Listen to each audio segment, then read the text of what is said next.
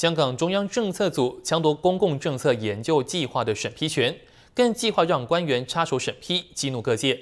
在立法会特别会议上，泛民主派议员、人权和学界团体批评当局借中策组监控学术界，犹如中共中宣部钳制人民思想，呼吁立法会议员不要通过有关拨款。立法会教育事务委员会召开特别会议，人权团体及泛民议员等纷纷表明反对政策组扩权和邀请官员参与审批，批评政策组变成中宣部。你哋变成中宣部啊，变成组织部啊，你扮演紧一啲好似中共啊控制思想啊啊去筛选人选啊嗰啲咁嘅角色。啊，你个中策组咧真系中宣部一样咁玩噶啦，垂念听证。